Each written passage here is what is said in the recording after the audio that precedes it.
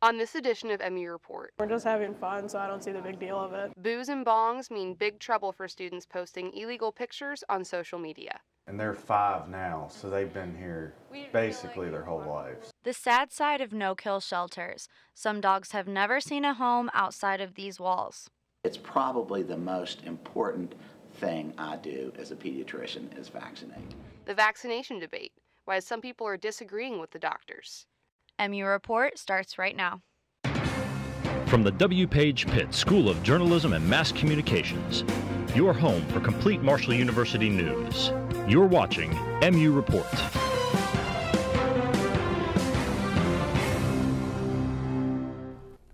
Hello, and welcome to this edition of MU Report. I'm Morgan Wright. And I'm Sarah Connors.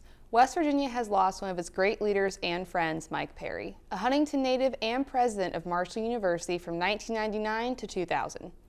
Perry leaves a legacy not just in Huntington, but throughout the tri state as an attorney, banker, and historian. Due to his high regard and performance while serving at Marshall, the Board of Trustees voted to remove the word interim from his title on the list of Marshall University presidents. Perry and his wife Henriella are best remembered for founding the Heritage Farm Museum in Huntington. Mike Perry was 78 years old. Now to a decision that could take just a second that could have enormous consequences down the road. Students getting caught red-handed for illegal drug and alcohol use, and as I found out, they don't seem to care. Facebook, Instagram, Twitter, and Tumblr. It seems as though there's a new social media on the internet every day, and with them seems to be coming illegal posts of underage drinking and illegal substances. We're just having fun, so I don't see the big deal of it. It's definitely overlooked because when you go to college, that's half of it. You're on your own, you get to experience things that you didn't try before. So a lot of it is going out and drinking and having fun. But school officials disagree. These posts on social media are a big deal. Um, it was posted on a Snapchat page, and um, the RA sent it to the RD, who then sent it to me. Um, and said, hey, we had some underage drinking in the residence hall. After these students are caught either drinking or with an illegal substance on campus and posting pictures of it online, they are brought in for a meeting with Judicial Affairs, where then they could be put on probation for a semester, asked to take an alcohol class with a fee of $50 at the rec center, or participate in community service. Law enforcement is also holding those on the internet responsible for their virtual actions. Um, if someone goes into an unprotected Facebook page, we might see pictures of drugs and guns and money, and they're very recently posted, so that gives us information that we can use to, to even get a search warrant to go in and search. So the next time you think about taking a picture of yourself like this, think twice about where it's going and who's seeing it. At some point, you're going to want to get a job, and there are companies that make a, a living by saving Facebook pages. Um, so when you think you've deleted it, it's still there, and a potential employer may be able to find out, uh, you know, see the picture of you um, with the with the drinking when you're 18 years old, um, or you know, worse with drugs. According to a study done by JobVite.com, 93% of recruiters will review a candidate's social media before hiring. Whether it's on your cell phone or your laptop, slow internet is frustrating. In Huntington, a contest in partnership with Frontier Communications could mean people will see some big changes to citywide internet. MU Reports' Tim Carrico talked with business owners about the opportunities new internet could bring.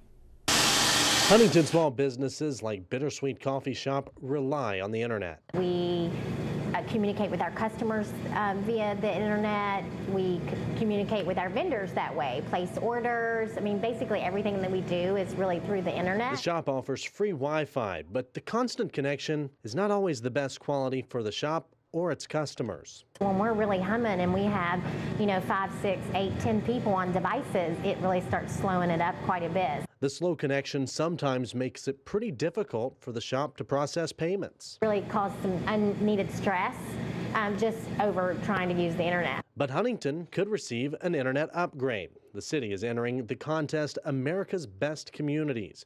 Winners can receive up to $3 million based on community improvement plans.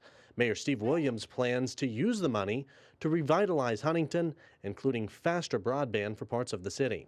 We think that we have Um, an opportunity to do something that no city our size in the country is able to do. Mayor Williams says seeing these Wi Fi bars could bring millions of dollars into the area. They have to have everything working to, to their favor to reduce their costs, but also to be able to do things quicker and smarter. A win for the city would mean a better internet connection, and local businesses hope that will bring better service. In Huntington, Tim Carrico, MU Report. The first 50 quarterfinalists will be chosen March 25th. If Huntington is selected, the city will receive $35,000. Top winner will be selected in 2017. The recent measles outbreak in the United States has caused more than panic. Now there is a larger debate on whether or not to vaccinate. Joining us in studio now is MU Report's Haley Wade, who has more on information from both sides of this argument. Haley? Thanks, guys. Because no vaccine is 100% effective, some say they shouldn't have to risk their own health by living around people who refuse the shots. But on the flip side, those who don't want the vaccine say they shouldn't be forced to have it. Uh, it's probably the most important thing I do as a pediatrician is vaccinate. Staying healthy seems to be a constant concern for many, but what happens when worry strikes that vaccines may do more harm than good? Joe Evans, chairman of pediatrics at Marshall University's School of Medicine, says a sudden fear of immunizations is backtracking the progress medicine's made. Measles was eradicated in the United States uh, in 2000. There were no cases. But then you get this fraudulent study, people dropping their guard and not getting their vaccine. Evans believes people don't see the need for getting vaccinated because they don't see the threat it poses. That the vaccine program is a victim of its own success because nobody today remembers anybody with polio. But as early, as recently as the 1950s, there were 35,000 cases of paralytic polio a year just in this country. The debate behind vaccinations isn't even as much of a global issue as it is a national issue. I see most of our students' entire immunization records. Most of the, the parts of the world where we get students from, they have very robust and strong immunization programs. Um, it probably goes beyond what many people uh, in West Virginia would have. Students at Marshall have mixed feelings on immunizations, much like the rest of the nation. That's why I don't go to the hospital. I don't really take medicines because of this. But I understand people being skeptical of like science and the health profession in general, but uh, I, I don't see any reason to really fear vaccinations. Evans hopes the outbreak will help raise awareness in the end. This measles epidemic is going to open our eyes to yes, these diseases can come back. These diseases we've had controlled for 20, 30, 40 years. We can't go backwards. Doctors say it's important to take early symptoms seriously because what could seem like a bad cold, high fever, runny nose, or sore throat could actually be measles. According to the Center for Disease Control, measles outbreak has infected more than 120 Americans. In the studio, Haley Wade, MU Report. A lifetime in a cage. That is the only thing some dogs at a local no-kill animal shelter have ever known. Little Victories in Huntington promises to hold animals until they find a forever home. But as I found out, for some of those animals, that day has never come. So she wobbles a lot, kind of like Parkinson's for dogs. Two miles down a one-way street sits an animal shelter that stands out from the rest. Little Victories is a no-kill shelter where people from all over come to adopt dogs, but there are a few who often get overlooked. They were brought here at like six months of age and they're five now, so they've been here basically their whole lives. Dogs like Daisy, who has spent a long time in one of these cages. She actually has been here pretty much her entire life. And Layla, who's been here for five years. They're really good dogs, it's just they never get the attention that they deserve. And the attention seems to stay on the younger dogs. A lot of people come, they want puppies.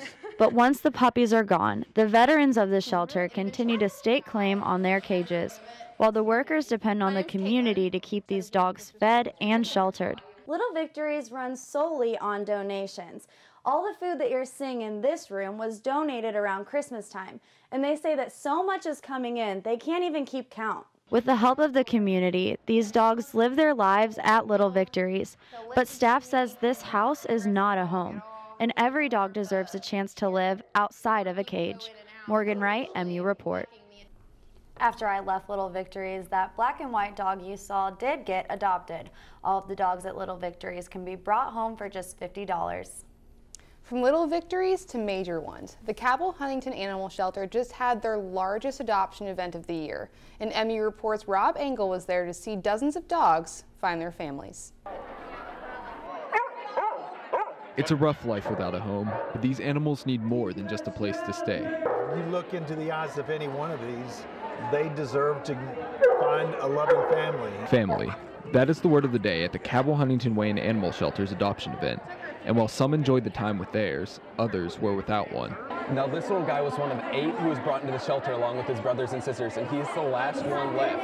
He, along with all the other animals here today, can be adopted for a fee of $50, which includes spay and neutering, first visit, and all proper vaccinations. As it turns out, he wasn't without a loving home for long. And I just see this little puppy, and I just love it. For Colombian international student Paula Polanco, her new puppy is more than just a pet. It's like my new family because I'm alone here, so I know he's gonna he's gonna be my baby.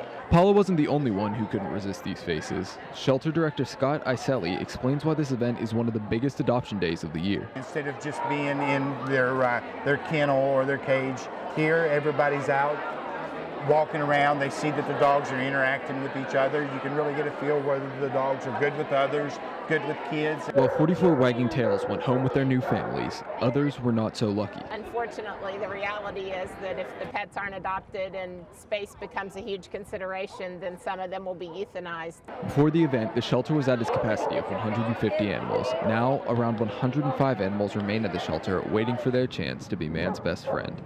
Rob Engel, MU Report. Falls, and I'm not talking about football, but roller derby. Joining us in studio now is MU Report's Jesse Starkey, who got a front row seat to Huntington up and coming Jewel City Roller Girls. If there's one word that describes these ladies, it's tough. And what started out as just something fun for these ladies to do on the weekends is now drawing a serious crowd. The whistle blows, and the Jewel City Roller Girls are ready to take some falls and some even harder hits. But they don't seem to mind as they get right back up and move even faster. That's Erin Stockhausen. She works three jobs and is a student at Marshall.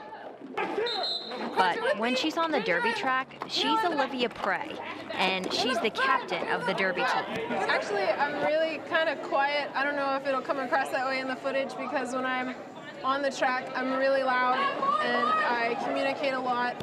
I also tend to swear a lot. I don't think I swear too much in real life. she can sum up roller derby in just a few words. Exhilarating and awesome. The game of roller derby has two main positions. The jammers who stay low and move fast to score the points. And the blockers who travel in packs to keep the jammer from coming through. But points scored is just a small part of what derby means to this team.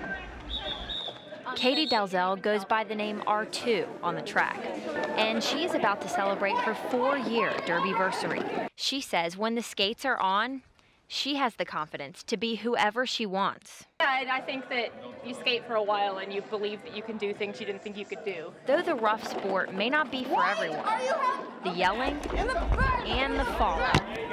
For sure.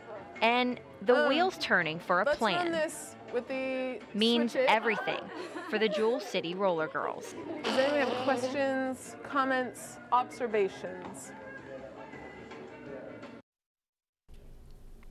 It was definitely fun to learn about a new sport during this story.